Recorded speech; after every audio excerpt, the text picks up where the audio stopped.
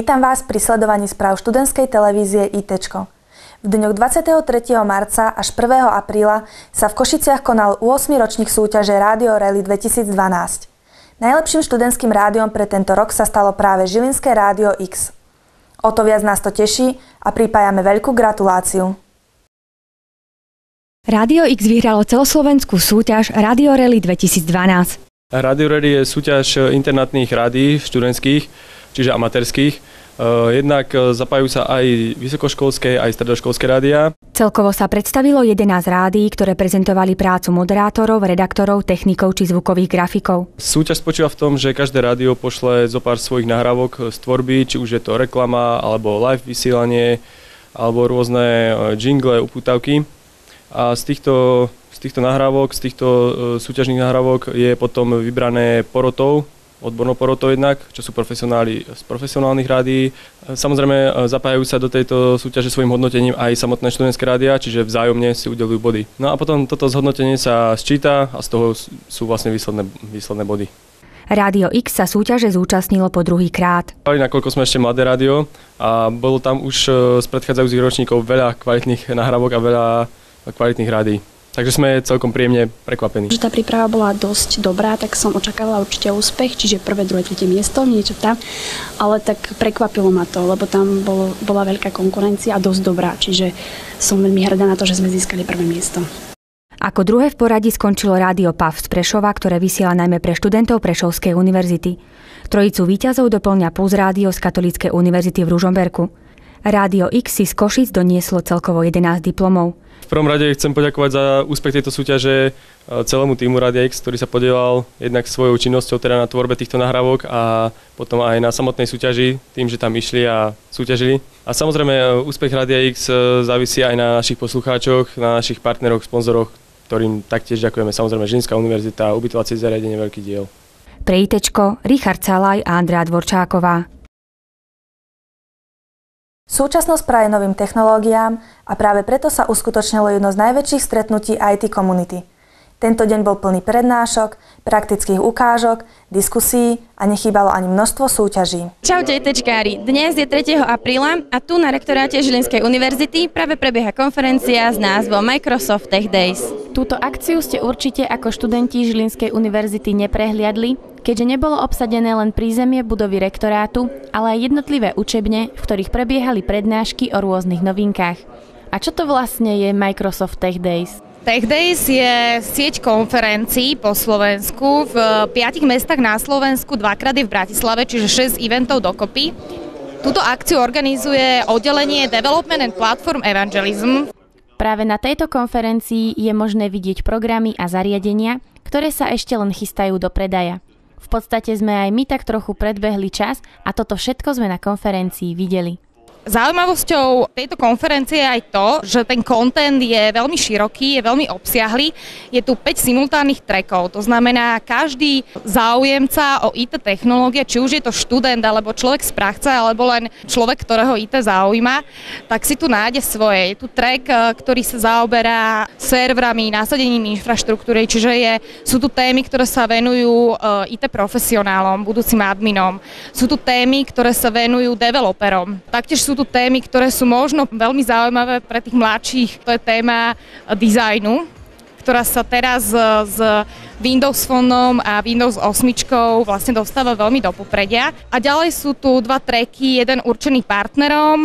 Partnermi sú HP, Samsung, Nokia, čiže veľa zaujímavého kontentu. A track, ktorý je preto je to aj na, na akademickej pôde, je určený o, ľuďom, ktorí chcú nejak profesionálne nárast, to znamená informácie o tom, ako získať Microsoft certifikácie, kde nájsť potrebné informácie na nejaký ďalšie štúdium a profesionálny rast.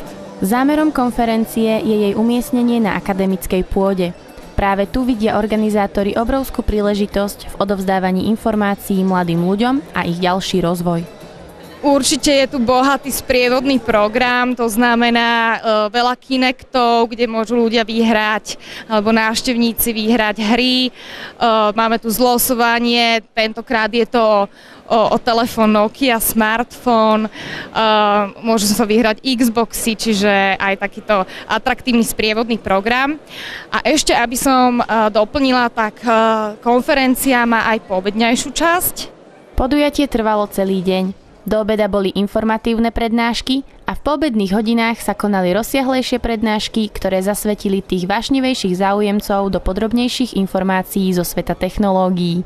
Ako celú udalosť vníma pani rektorka Žilinskej univerzity? Ja to vnímam veľmi pozitívne, pretože dáva to nejaký iný pohľad na život tej IT komunity s tým, že dneska IKT technológie sú vlastne platformou pre všetko. Či robím design, či malujem, či skladám hudbu, alebo robím ekonomické analýzy, alebo teda programujem nejakú hru napríklad, ale aj vyhodnocujem vedecký výskum, je tam všade práve táto technológia. Žlté narcisy a množstvo dobrovoľníkov s pokladničkami zaplnili 15. apríla celé Slovensko. Tento kvietok jary nebol iba ozdobou na oblečení. Ľudia jeho nosením vyjadrovali hĺbší cieľ. Študentov na Žilinskej univerzite sme sa pýtali, či vedia aký. Je to symbol dňa proti rakovine, boja proti rakovine. Na boj proti rakovine. Boj proti rakovine. Nádej boja proti rakovine. Kúpou žltého narcisu ľudia vyjadrujú spolupatričnosť a podporu onkologickým pacientom. Tento projekt piatok zároveň oslávil už 15. narodeniny. Jubilejný ročník opäť oslovil množstvo ľudí. Ako tento deň vnímajú ľudia v Žiline? Myslím, že je to dobrá vec, akože zbierať peniaze. Vždy, keď idem, tak si nejaký kúpim, keď ma stretnú.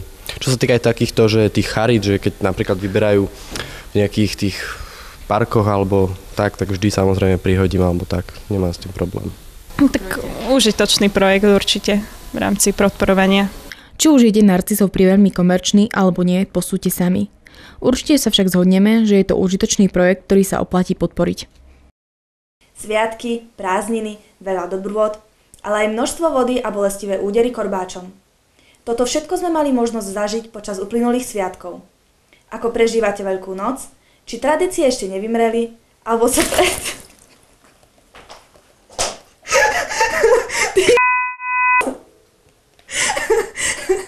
alebo kúpačmi poctivo zamykáte sme sa šli spýtať medzi vás. Veľká noc je tradičný sviatok plný zvykov a tradícií. Preto sme sa pýtali študentov Žilinskej univerzity, ako tu tieto sviatky trávia a aké zvyky a tradície dodržiavajú. Teším sa, že budú prázdniny, že nebude škola, ale máme toho veľa v škole. Tak. Uh, asi nie, lebo nemám rada vodu a všetko s tým spojené. Nemám rada, keď som od hlavy po pety mokrá kvôli nejakému nezmyselnému sviatku. Budem konečne doma, lebo väčšinou zostávam tu na Žiline a domov chodím tak raz za mesiac alebo raz za tri týždňa a teraz aspoň nejaké tých pár dní strávim doma konečne. No ja si užijem sama doma. Neslavím nejako, nechodím oblievať, takže pojem niekde do prírody akurát tak aj inak nič zvláštne. No v týchto rokoch mojich už, už to moc neregistrujem. Veľkonočné sviatky sa v rôznych kútoch Slovenska prežívajú inak ale jedna vec je všade spoločná. Tradičná oblievačka. Teraz už žiadne, chodím prakticky iba s nejakou voňavkou alebo s niečím podobným, ale keď som bol mladší, tak sme chodili aj s korbáčom a s vedrami. Klasický vedro a riadnu nariť. 5 a 20. Nás vlastne chlapci chodia oblievať kvôli tomu, keď chodí partia, tak aby dostali nejakú fľašku alebo niečo také. A rodiny príslušníkov, tak tých sa pohostia, alebo sa im dá nejaká sladká odmena. Vajíčka už nemalujeme teda. No väčšinou to boli nejaké čokolády alebo nejaké drobné peniaze, ale nič také zvláštne tam nebolo. Chlapci sú v tento deň veľmi vynaliezaví a tam ostávajú aj pekné spomienky. Dva roky zamykala doma, aby som sa nedával oblievať, ale keď chodia partia chlapcov ku, nás, ku nám, tak prídu takí 20, z toho vás štyria držia, štyria majú vedra a ešte ďalší traja možno vás šľahajú korbačom, takže to je asi také, také zažitky z Veľkej noci. Asi nepríjemný to, že som skončila v potoku, keď bolo asi minus 5 stupňov. Fúha, ja neviem, koľko to bolo kýbľov, ale bola to ľadová voda, takže to bolo strašné. Máme zážitky, ale to ešte keď sme boli mali, lebo teraz už sa není čas, kedy oblievať, neviem. Už sa teraz neoblievame moc. Veríme, že ste si tohto ročnú Veľkú noc užili a na záver tu máme niekoľko odkazov. Nech nás čakajú s otvorenou naručou a s koláčmi a s nejakou slivovicou dobrou a nech to užijeme všetci. Že nech prídu. Čo ja viem, veľa vody, lebo u nás sa ako hovorí, že keď je dievča veľakrát obliaté, že bude zdravé. No, veľa vody, aby boli pekné a aby sa usmievali stále. Celá mokrá sa s vami lúčim. Vidíme sa opäť o týždeň. Dovidenia.